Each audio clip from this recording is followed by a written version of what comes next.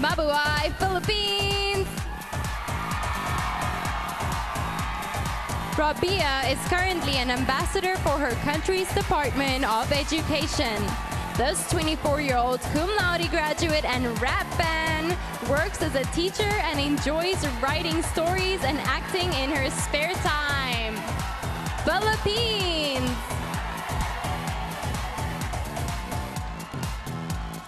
Let's keep it